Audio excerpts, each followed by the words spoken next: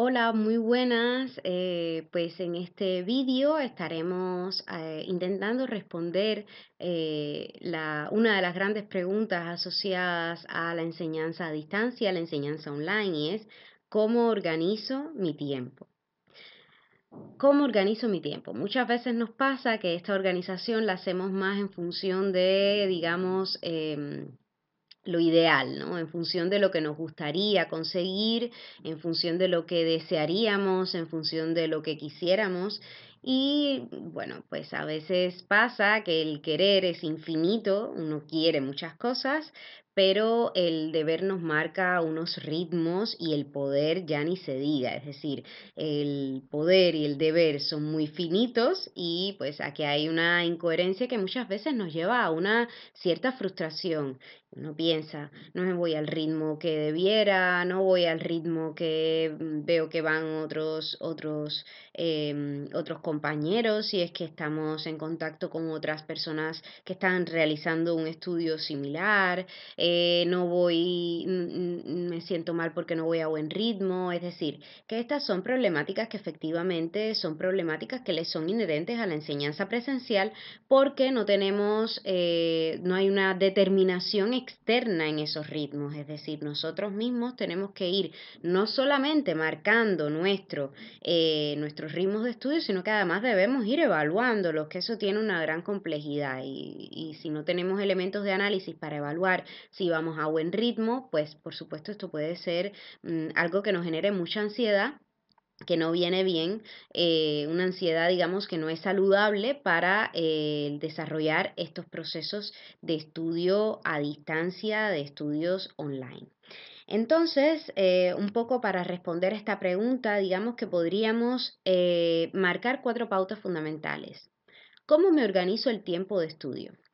Lo primero es definir lo que sería el mejor momento para estudiar. Fijaros, en todas estas pautas eh, será necesario y será muy importante y fundamental realizar una revisión de nosotros mismos, de nosotras mismas.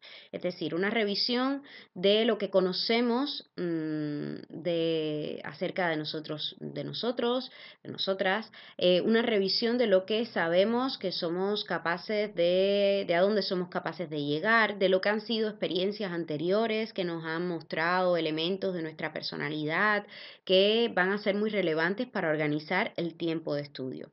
Entonces, lo primero pasa por conocernos a nosotros mismos y por tener una conciencia eh, crítica, que no es otra cosa que una conciencia lúcida de quiénes somos, y de cuáles son nuestros ritmos y de cuáles son nuestras, eh, eh, nuestras estrategias, las que mejor nos funcionan, etc. Entonces, eh, lo primero dentro de todo ese proceso de aprendizaje es llegar a definir e identificar cuál va a ser el mejor momento para estudiar. ¿Qué es lo que ocurre?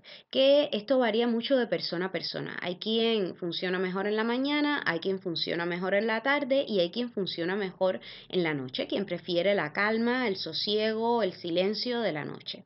Sí que es cierto que de manera general, digamos que hay unas pautas que son... Mmm, más comunes, más habituales. De modo general, la mañana suele ser un buen momento para estudiar porque tenemos, venimos del descanso de la noche, ya nuestra, eh, nuestro, nuestra mente, nuestro cerebro está lo suficientemente descansado y por lo tanto tenemos todos nuestros recursos cognitivos, nuestros procesos cognitivos en un buen momento para eh, iniciar eh, un proceso de estudio con toda la complejidad que ello supone. La tarde, por lo general, mm, no es un buen momento, no es el mejor de los momentos del día porque nos encontramos justamente en ese periodo postpandrial, en ese periodo eh, que continúa, o sea, en ese periodo eh, siguiente a la ingestión de los alimentos, de la segunda comida importante del día, el almuerzo, la comida, como se le llame, en las diferentes regiones. Y por lo tanto realmente nuestro organismo tiene todos sus recursos fisiológicos para empezar, eh, eh, volcados en el procesamiento, la digestión, la metabolización, etcétera, de estos eh, alimentos. Por lo tanto, incluso puede eh, llegar un momento en el que precisamente por esto, toda la energía está centrada en eh, el aparato digestivo para eh, realizar las funciones que le son inherentes y podríamos sentir ese cierto adormecimiento, esa sensación pues un poco de, de estar un poco atontado, ¿no? Que tenemos en este momento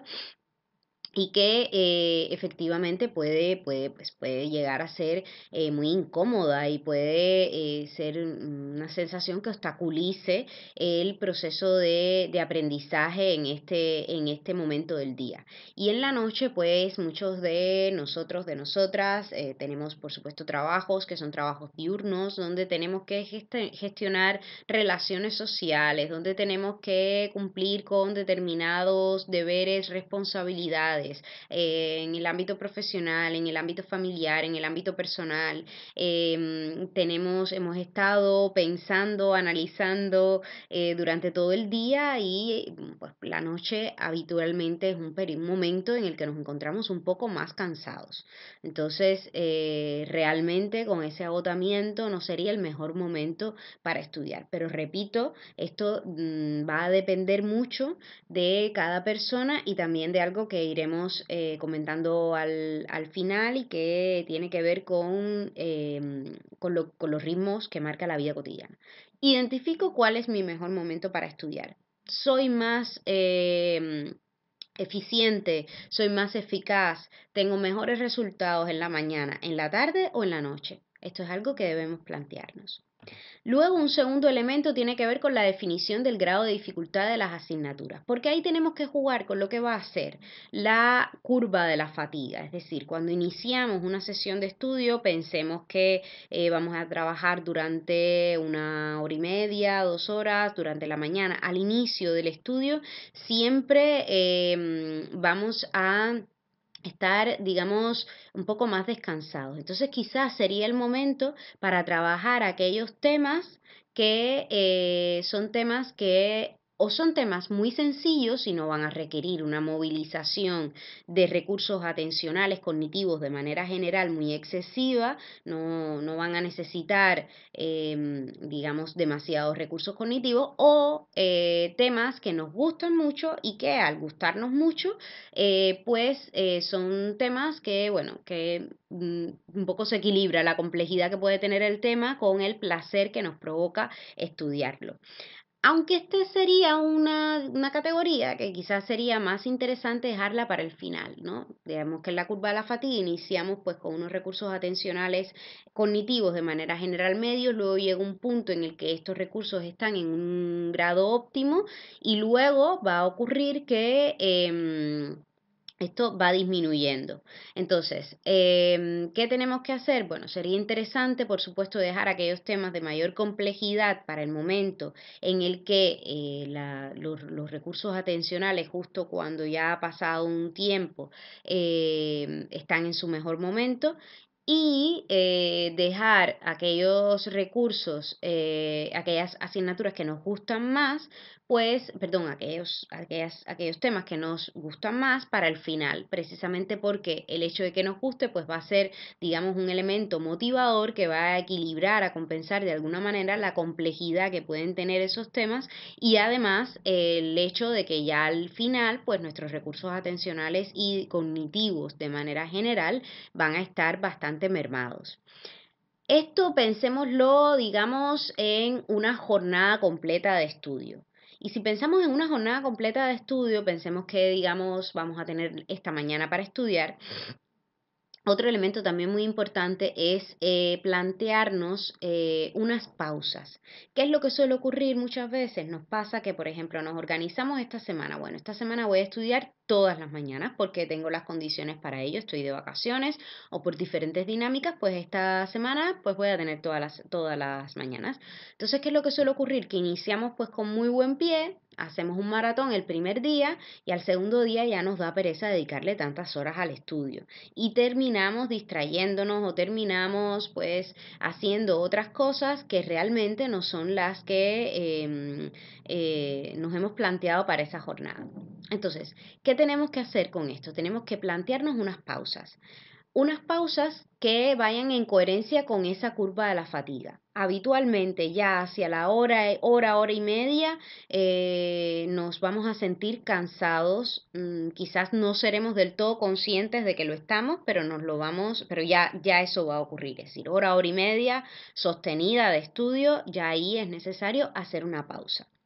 Si ahí es necesario hacer una pausa, entonces tenemos que buscar una actividad que sea lo suficientemente distinto, distinta de aquello que estamos haciendo, como para que realmente eh, nos, nos, nos, saque de ese, de ese momento, sea un cambio de actividad que nos ayude, digamos, a resetear eh, estos, estos eh, recursos y procesos cognitivos en general, atencionales en particular, y, em, pero que no sea lo suficientemente atractivo como para que nos abduzca y luego no queramos regresar al momento de estudio. Es decir, por supuesto, las redes sociales en este caso están absolutamente desaconsejadas, la revisión de las redes sociales, porque realmente es algo tremendamente atractivo y que puede significar incluso que perdamos la noción del tiempo. Es decir, de pronto nos vamos a dar cuenta de que hemos estado mucho tiempo eh, dedicándole 20 minutos, media hora, ¿en qué se nos ha ido media hora, no? Entonces, eso tenemos que ver en qué medida podemos, pues, eh, solucionarlo. Tiene que ser una actividad que suponga un cambio, eh, algo diferente con respecto a lo que hemos estado haciendo. Puede ser prepararnos una infusión, beber un zumo, preparar y beber un zumo. Puede ser eh, hacer unos estiramientos. Los estiramientos, por ejemplo, están absolutamente eh, recomendados porque hemos estado pues sentados. Eso, estos estiramientos pueden ayudar a que em, se, se, se resitúen las energías en nuestro organismo, que haya una mejor circulación sanguínea, por lo tanto una mayor oxigenación eh, cerebral y por lo tanto una mejoría en los recursos y procesos atencionales y cognitivos, por lo tanto estaremos más concentrados, tenemos, tendremos mayor capacidad de memoria, mayor capacidad cognitiva de manera general, o hacer quizás alguna postura específica, el que le guste pues hacer yoga, tai chi, quizás algo así, o salir un momento a la ventana, salir un momento a la terraza, al balcón, a respirar un poco de aire puro, pues ya eso depende de cada quien, pero sí que es cierto que tiene que ser una actividad que nos distraiga, pero que no sea tan atractiva como para que luego no queramos regresar al momento de estudio. Luego tendríamos un tercer consejo que daros y es una em, técnica, una herramienta que nos llega desde la psicología de la actividad física y el deporte y que es el establecimiento de objetivos. Esta es una técnica absolutamente recomendable y que nos va a ayudar muchísimo a evitar la frustración y aumentar la motivación. Es decir, nos tenemos que plantear un cronograma. Nos diseñamos un cronograma, incluso lo dibujamos y lo ponemos eh, cerca del lugar de estudio, donde veamos cuáles son los objetivos que nos vamos a plantear para este mes los objetivos que nos vamos a plantear para estas semanas que forman parte de este mes y los objetivos de estudio que nos vamos a plantear entonces diariamente. Diariamente, ¿qué voy a hacer? Este día me voy a dedicar a eh, la lectura de materiales, este día, esta semana me voy a dedicar al inicio de las actividades formativas, este, mm, eh, esta semana lo voy a dedicar al inicio de las actividades de evaluación. Es decir, cómo yo me voy a, ir organizando en el día a día, pero sí que es muy importante que los objetivos estén absolutamente alineados, es decir, que estos objetivos diarios respondan a los objetivos semanales y que los objetivos semanales respondan a su vez a los objetivos mensuales. Para evitar realmente la frustración, tenemos que tener en cuenta el cuarto elemento y es el criterio de realidad como base para la organización del tiempo, es decir, que realmente nosotros eh, establezcamos estos objetivos, estos objetivos, definamos estos objetivos en función de lo que es la realidad. La realidad nos marca unos ritmos, nos marca unos tiempos, nos marca unos deberes, unas responsabilidades, tenemos unas rutinas que debemos seguir, tenemos unas, em, eh, unas dinámicas que no pueden cambiar y que son las que tenemos. Entonces, en función de eso, hagámonos esa pregunta clave. Eh, cómo me voy a organizar en función de mi dinámica cotidiana, en función de mi vida cotidiana, mi vida cotidiana que puede ser muy diferente, por supuesto, de persona a persona. Muchas veces nos ocurre que em, em, a veces cuando hacemos este ejercicio, este diseño de cronograma con estudiantes de diferentes niveles, nos traen pues cronogramas que son cronogramas en, que, en los que se plantean estudios los domingos en la mañana, los sábados en la tarde, durante todo el mes. Entonces, la pregunta es, ¿realmente ese es un tiempo que vamos a dedicar al estudio? ¿Realmente ese es un tiempo que, que es pertinente, útil para el estudio? Eh, quizás después de haber estado, de haber salido o de haber quedado un sábado en la noche, el domingo por la mañana se lo vamos a dedicar al estudio. Me parece que quizás, no en todos los casos, sea pertinente. No sea pertinente, y utilizo, utilizo esta palabra, la palabra pertinencia, porque eh, no va a ser saludable. Es decir, si nos planteamos un cronograma irreal, un cronograma que tiene más que ver con lo que nosotros queremos y no lo, con lo que realmente podemos, eh, esto va a ser muy frustrante. Va a llegar la semana no habremos cumplido los objetivos de cada uno de los días, nos vamos a desmotivar, nos vamos a sentir que no, que no podemos, que no lo vamos a conseguir y eso no va a ser de, de ayuda al proceso de aprendizaje. Entonces de lo que se trata es de plantear unos objetivos y eh, de definir eh, los momentos del estudio y la organización del tiempo desde un criterio de realidad. En próximos vídeos estaremos hablando de cuáles son las técnicas, las mejores técnicas que podemos emplear para la organización del tiempo de estudio, eh, perdón, para la gestión de las diferentes asignaturas. Eh, hasta entonces, pues espero que este, las pautas que le hemos presentado en este vídeo les hayan sido de utilidad y eh, hasta entonces, pues no me queda otra que brindaros un hasta luego.